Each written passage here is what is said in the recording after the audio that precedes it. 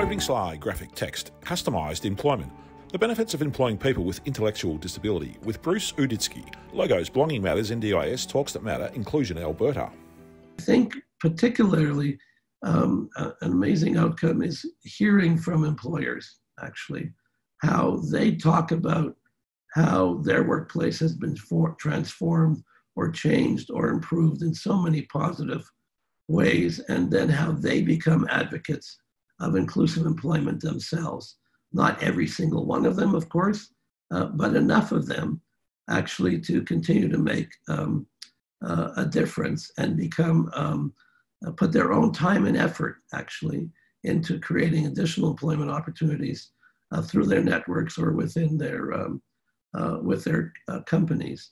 Um, to see the relationships that have been formed between colleagues, between supervisors and managers, to see um, employers and um, colleagues and uh, supervisors talk to you about um, this person can do more, should be doing more. We're working on creating those opportunities. We have to figure that out and not having to be, if you want, the ones that push that, if you want, or to seek that. And so that is really encouraging, particularly to families, to know there are ordinary, if you want, community members, for lack of a better description, who see potential and possibility in your child, maybe your son or daughter, uh, the way that you do, and it's being realized.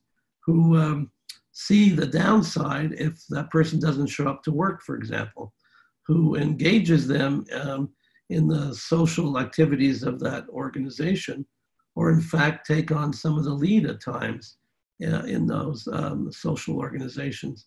I remember the president of one bank uh, talking about um, the person was employed there who he became friends with, and the fact that he would know far more of the people who worked in the banking organization than the president did, and how he relied on um, uh, this individual. Um, I have, often have to say to him, "What's his name again?" or "What's her name again?" And um, you can um, see if you want uh, the the bonds that have formed, if you want, between therefore um, if you want, uh, an employer in a very prominent position and an individual with uh, intellectual, um, uh, intellectual uh, disabilities. Closing slide, graphic text. This video is made possible with the support of a National Disability Agency grant, produced by Belonging Matters. Thank you, Inclusion Alberta.